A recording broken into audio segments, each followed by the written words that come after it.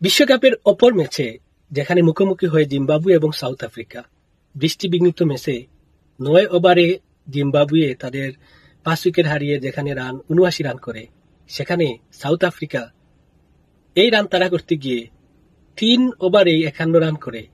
কিন্তু বৃষ্টির কারণে খেলা আর গড়ায়নি মাঠে, এজন্য ম্যাচটি পরিত্যক্ত হয় এবং জিম্বাবুয়ে এবং সাউথ আফ্রিকা উভয়েই এক পয়েন্ট করে বাগাবাগি করে নেয়।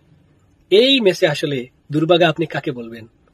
সাউথ আফ্রিকাকে বলবেন নাকি জিম্বাবুয়েকে বলবেন? আমার তো মনে হয় জিম্বাবুয়ে নিশ্চিত হারার মুখ থেকে ফিরে এসেছে, এক পয়েন্ট নিয়ে তারা সন্তুষ্ট, খুশি থাকার কথা। কিন্তু সেখানে সাউথ আফ্রিকা, তারা তো খুশি হওয়ার কথা নয়, কারণ তারা নিশ্চিত জয় ম্যাচে এক পয়েন্ট নিয়ে তাদেরকে সন্তুষ্ট থাকতে হয়েছে।